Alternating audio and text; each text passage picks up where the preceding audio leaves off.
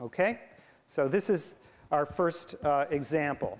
So how do we get started? Well, we just write down a formula for the function. The function is y is equal to x to the power m over n. That's what we're trying to deal with. And now there's really only uh, two steps.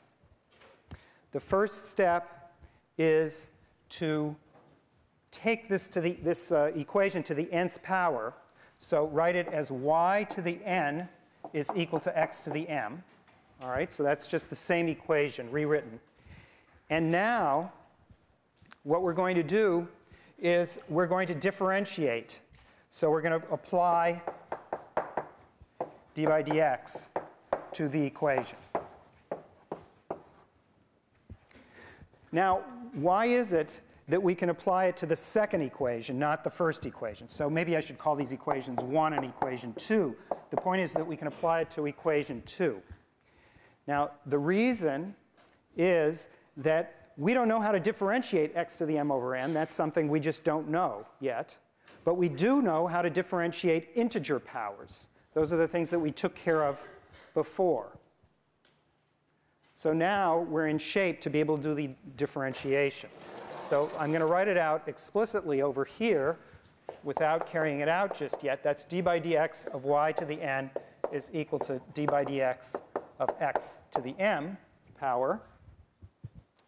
And now you see this expression here requires us to do something we couldn't do before yesterday, namely this y is a function of x, so we have to apply the chain rule here. So this is the same as, this is by the chain rule now, d by dy of y to the n times dy dx.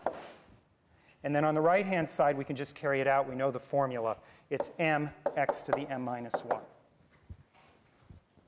All right, so this is our, our, our scheme.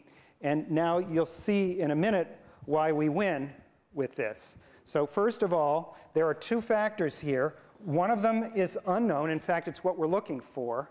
But the other one is going to be a known quantity because we know how to differentiate y to the n with respect to y.